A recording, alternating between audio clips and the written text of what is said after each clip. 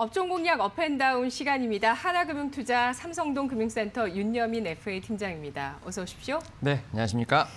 네, 오늘 장의 상승 예상 업종부터 화면으로 확인해 봅니다. 오늘 장 상승 예상 업종 좋은 실적과 배당금 증대 음식료주 꼽아주셨습니다. 연말 연초에 많은 제품들 가격 인상들이 있었습니다. 음식료 쪽도 계속 좀 일어나고 있었는데 저는 이제 어제 고추장이나 여러 장류들의 또 가격 인상 소식이 나오길래 이제는 좀 음식료주가 본격적으로 올라가 줄 수 있을까 이런 생각이 들더라고요. 예, 일단 뭐 식음료 관련돼서 제가 뭐 계속 말씀을 좀 드렸던 건 아닙니다. 사실 어떻게 보면 최근에 처음 가져온 이제 섹터라고 말씀드릴 수 있을 것 같은데요. 일단 뭐 두 가지 이유가 있습니다. 일단 뭐 섹터 관련돼서 이제 수출 지표가 좀 나왔는데요. 특히 이제 올해 1월 이제 좀 수출 데이터가 나왔는데 사실 이제 식음료에 관련된 섹터 쪽에서의 어떤 어, 실적 수치가 상당히 좋다라고 좀 볼 수 있을 것 같습니다. 특히 뭐 라면 같은 경우 지금 뭐 상당히 수출 금액이 많이 나오고 있다라고 좀 볼 수 있을 것 같은데 주요 국가가 이제 중국과 미국이라고 좀 말씀을 드릴 수 있을 것 같습니다. 특히 이제 라면 수출 어, 수출 금액 같은 경우는 우리나라 돈으로 약 한 550억 정도가 좀 되고 있는데요. 작년 대비했을 때 거의 한 38% 이상 증가하는 좀 모습을 좀 보여주고 있다라고 볼 수 있을 것 같습니다. 특히 이제 설 연휴의 어떤 영향에도 불구하고 좀 견조한 수출 어떤 금액을 좀 달성했다라고 보여지고 있는데요. 특히 이제 중국도 이제 한 115억 정도, 하지만 이제 미국이 좀 많이 올라온 상황입니다. 미국 같은 경우도 한 103억 정도가 올라오면서 사실 어떤 이제 수출에 대한 부분에서도 중국보다도 이제 미국에 대한 시장이 좀 상당히 커지고 있다라고 좀 볼 수 있을 것으로 말씀드릴 수 있을 것 같고요. 특히 이제 작년 3월부터 이제 수출 어떤 실적이 500억 후반을 좀 계속해서 좀 유지를 하고 있는 상황이기 때문에 이런 기저효과가 좀 1월 나왔죠. 2월까지도 계속 지속되지 않을까 좀 판단을 하고 있는 상황입니다. 물론 이렇게 이제 실적이 좋으니까 결국 수출도 많이 나왔다고 말씀드릴 수 있을 것 같은데요. 또 두 번째로는 결국 이제 이 업체들, 우리나라의 어떤 회사들의 좀 실적이 좀 상당히 좋아지고 있다고 볼 수 있을 것 같습니다. 특히 이제 지난해 실적이 상당히 좋아진 모습을 보여주고 있는 대표적인 회사들이 있습니다. 뭐 CJ, JL지당을 비롯해서 네. 동원, F&B, 뭐 오리온 같은 대부분의 회사들이 지금 영업이익이 최소 두 자리 이상 좀 증가하는 좀 모습을 좀 보여주고 있다고 볼 수 있을 것 같고요.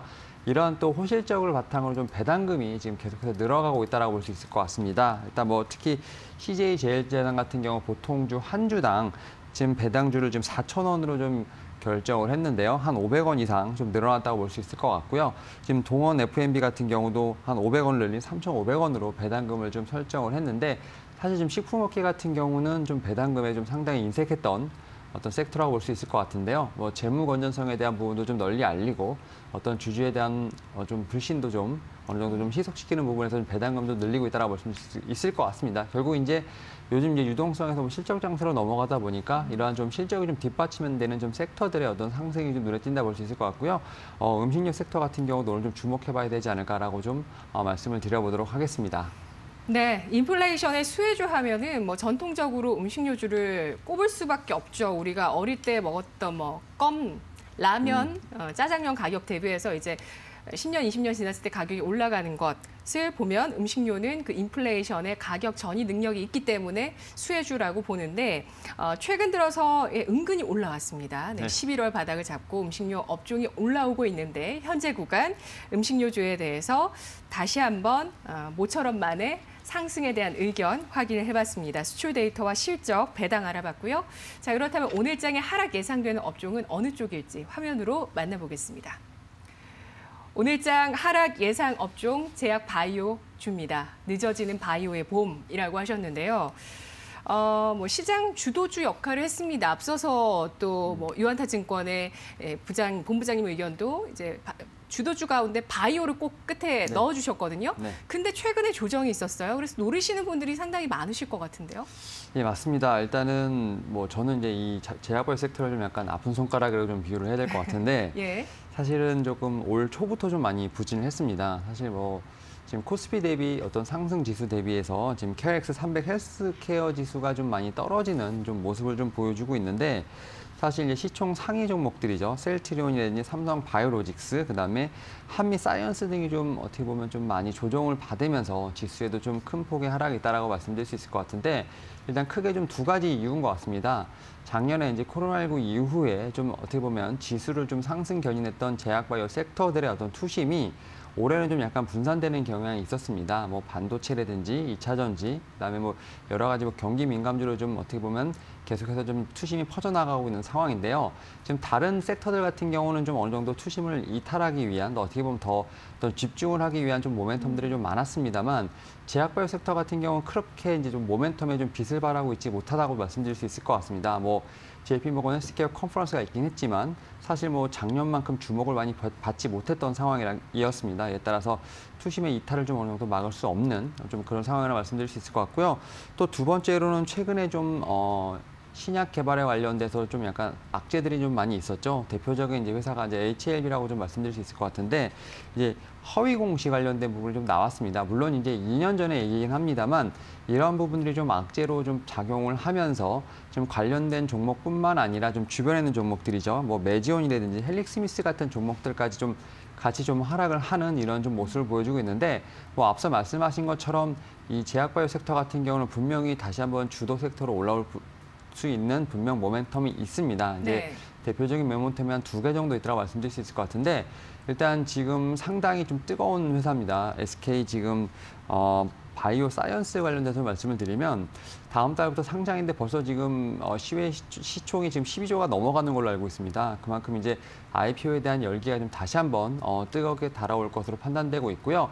지금 이제 글로벌 임상학회 관련돼서 계속해서 지금 예정이 되어 있습니다. 특히 이제 다음 달에 세계 내분비 학회가 있고요. 4월에는 미국 암학회가 있습니다. 그리고 이제 어, 유럽의 류마티스 학회 및 미국 임상 종양 학회 등 여러 가지 학회가 나와 있는 부분이 있기 때문에 분명히 현재 시점에서 봤을 때는 분명히 좀 하락에 대한 부분, 조정에 대한 부분을 계속 염두를 해둬야겠지만 역발상을 하게 되면 지금부터 모아가야 할 섹터가 아닌가라는 생각이 들고 있습니다. 에 따라서 사실은 좀 계속해서 부침을 겪고 있는 부분이 있지만 중장기로 봤을 때는 지금이 오히려 좀 매수 타이밍이 아닐까라고 좀 말씀을 드려보도록 하겠습니다.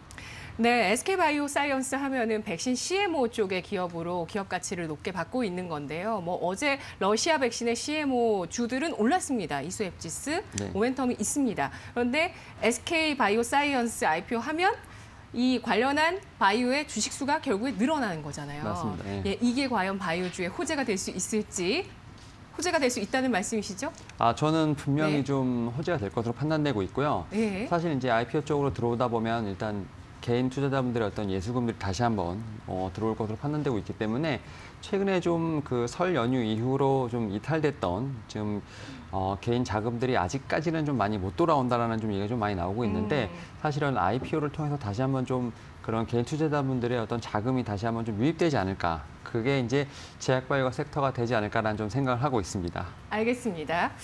네, 확실히 시장이 3,200선 저항을 받고 나서 개인의 관심과 수급이 좀 떨어지고 있는 건 사실입니다. 3월에 SK 바이오사이언스 IPO를 계기로 해서 개인이 또 유입될 수 있을지도 체크를 해보죠. 그렇다면 오늘 장의 핵심 공략 종목은 어떤 종목일까요? 어, 일단은 어, 식품 쪽에서 좀 가지고 왔고요. 식음료 쪽에서 가지고 왔고 어, 하이트진로라는 종목을 좀 가지고 왔습니다. 사실 이제 이제 최근부터 여행 관련된 종목들, 뭐 이제 관광 관련된 종목들, 뭐 이런 종목들이 좀 뛰고 있는 상황인데요. 사실은 이제 하이트 진로 같은 경우도 뭐 그 중에 하나가 아닐까라는 생각이 들고 있습니다. 특히 이제 실적과 관련돼서 좀 먼저 말씀을 드리면 사실 이제 어, 소주와 맥주가 좀 주종목이죠. 하지만 이제 가정 소비주는 상당히 좀 소비는 좀 늘었습니다만 지금 코로나19에서 좀 영업 제한이 걸리다 보니까 소상공인 쪽으로 어떤 나가는 좀 그런 물량들이 조금 줄었다라고 볼 수 있을 것 같습니다. 이에 따라서 4분기 매출과 영업이익은 좀 컨센서스를 약간 좀 하회하는 좀 실적을 좀 발표를 했는데요.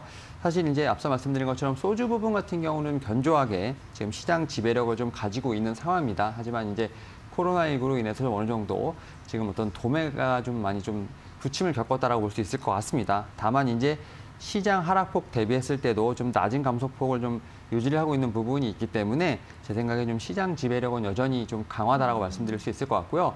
사실 이럼에도 불구하고 지금 동사에 관련된 국내 신용 등급 전망이 계속 상향이 되고 있는 상황입니다. 뭐 이제 한국 기업 평가 같은 경우는 회사채 이제 신용 등급 전망을 계속해서 좀 올려가고 있다. A 좀 안정적에서 긍정적으로 좀 올리고 있는 부분들 이런 부분들을 봤을 때 동사 같은 경우는 계속해서 좀 재무적인 부분 충분히 좀 어떻게 보면 안전하다 말씀드릴 수 있을 것 같고요.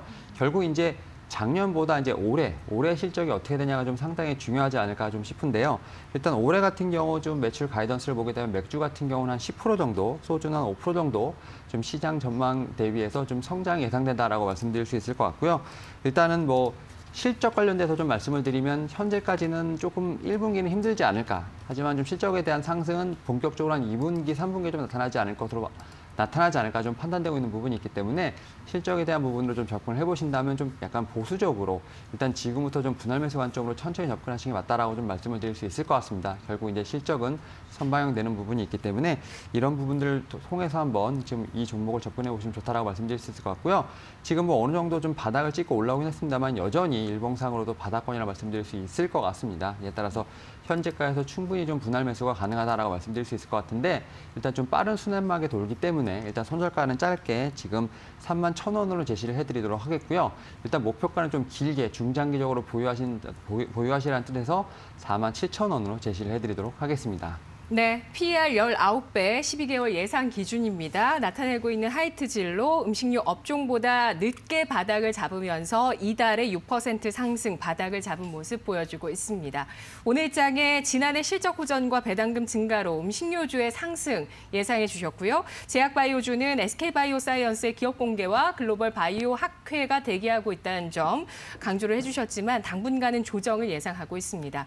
오늘 장의 공략 종목으로 시장 지배력과 사업 경쟁력 강화되는 추세에 놓여 있는 하이트 진로에 대해서 알아봤습니다. 아울러 저희 투자 정보 여러분 잘 활용해 보시고요. 투자 판단의 그 결과는 시청자 여러분의 몫이라는 점 강조해 드리겠습니다. 팀장님 오늘 분석 잘 들었습니다. 고맙습니다. 네.